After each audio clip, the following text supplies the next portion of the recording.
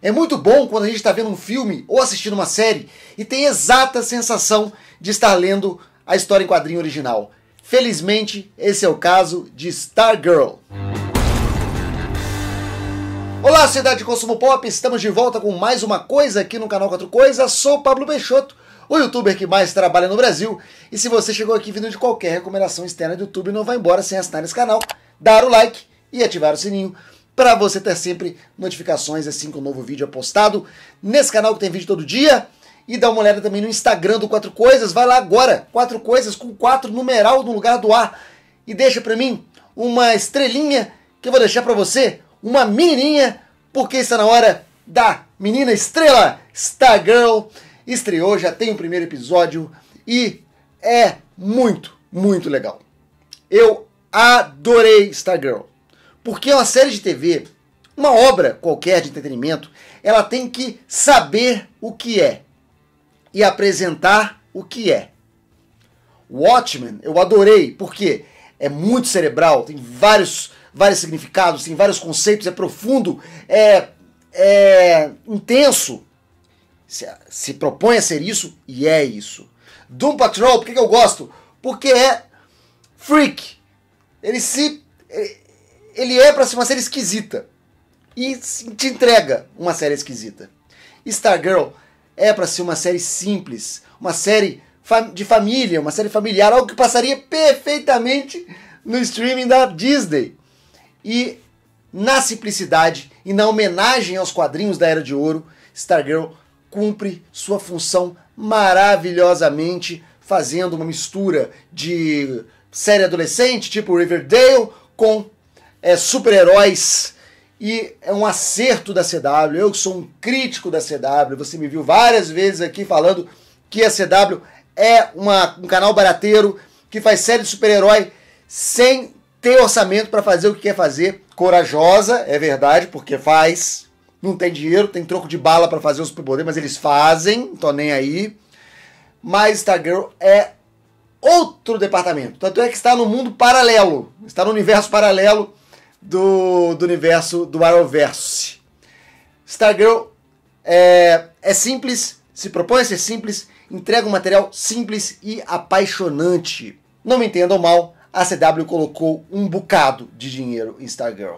A primeira cena é uma cena cheia de efeitos especiais, cheia de superpoderes, cheia de personagens memoráveis e clássicos aparecendo seguidamente e é uma abertura apaixonante. Não tem como você assistir a abertura de Stargirl, você sendo um, um fã de, de comic books, de histórias em quadrinhos, e não ficar imediatamente interessado na história. A história que é contada também no trailer, não é spoiler nenhum se você não assistiu. O ajudante, né, o sidekick do Starman, e o Starman morre e o ajudante fica com o cajado, o, o bastão cósmico que tem o poder de é, captar energia das estrelas e é usado para fazer campo de força, voar e rajadas de energia, enfim. E ele não é escolhido, inclusive uma cena maravilhosa. Ele não é escolhido para ser o próximo Starman, mas ele é escolhido como guardião do bastão, do cajado, até que ele encontre um novo, um novo Starman.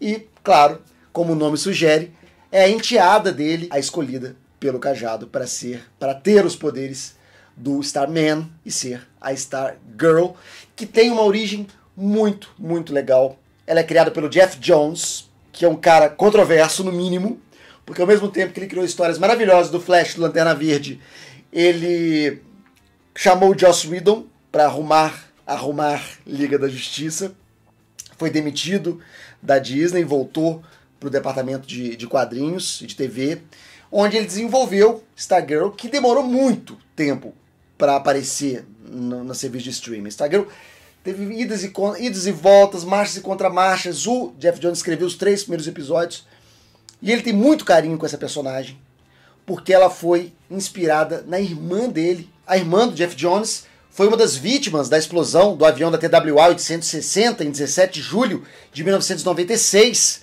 Todos os passageiros morreram numa explosão, o avião explodiu em Long Island e ela estava lá, a Courtney Elizabeth Jones, e ele usou o, a imagem da irmã para dar a cara da Stargirl. Então é pessoal, é uma coisa de família.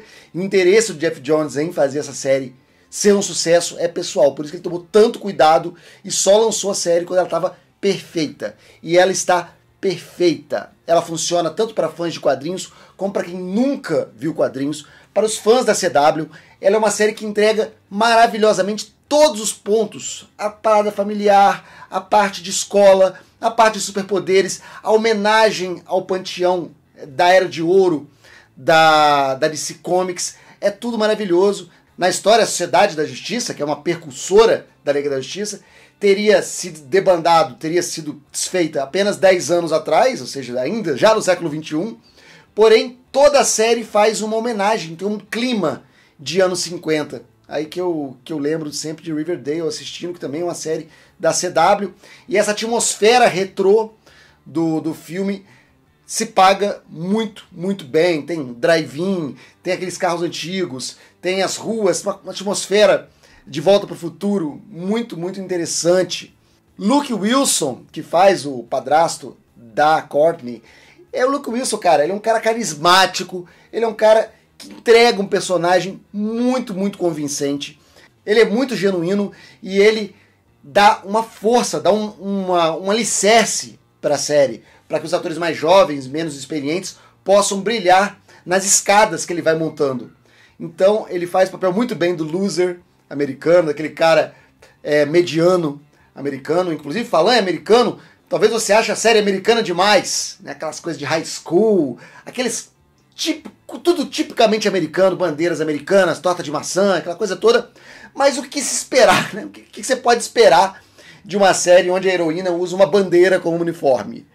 Só pode ser muita, uh, muito uh, way of life americano. Vários vilões da Sociedade Secreta de Supervilões aparecem, os vilões clássicos esquecidos, Geada, o Onda Mental, Salomon Grande, o Mago, tá todo mundo lá. O roteiro é legal, cara, o roteiro é bem feito, e sempre que ele começa a caminhar por uma coisa mais clichê, ele tem um toque, tem um detalhe que é diferente, que você estala o dedo e fala assim: ah, eu achei que ia para esse lado, mas foi para esse. Isso é muito interessante, isso é muito diferente. Todas essas referências à Sociedade da Justiça me lembra muito o início de Watchmen, quando tinha os primeiros Minutemen, aquela coisa dos heróis clássicos, com aquelas fantasias. É, parece uma foto da Sociedade de Justiça que lembra aquela foto clássica do Watchmen. E parece ser um universo onde super-heróis existem, apesar deles não terem muita influência no dia a dia. Eu não vi nenhuma outra referência a super-heroísmo e superpoderes em Stargirl, tirando o fato de que, por exemplo, se a, a menina conhecia a Sociedade da Justiça, conhecia aqueles heróis, é possível que todos os heróis da DC existam nessa, nessa realidade, né? nessa, nesse presente é, que ela está vivendo. Então podemos esperar até mesmo crossovers com outros heróis dentro do universo de Stargirl.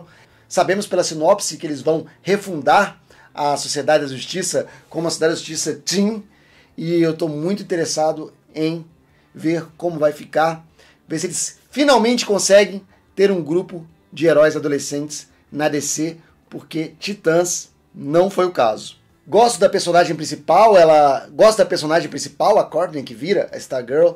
Ela é a típica americana adolescente, chata, é, em conflito com a família, e ela também vai, sem querer, se meter num conflito de super-heróis e ter que rapidamente se transformar na super-heroína detentora do cajado cósmico, que é um artefato muito legal. Ele tem, ele como a, como a capa do Doutor Estranho tem uma personalidade própria e é legal que eles colocam no background da personagem que ela tem treino em, em ginástica olímpica, então ela usa várias vezes o, o, o cajado, o cetro para fazer aquelas é, performances de ginasta.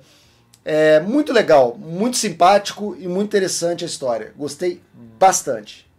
Faz tempo que eu não vejo uma série é, tão legal, tão leve e tão gostosa de assistir.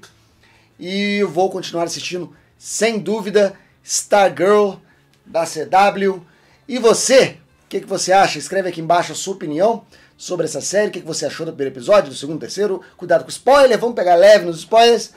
Hum, e eu fico esperando você aqui nos comentários onde esse vídeo continua.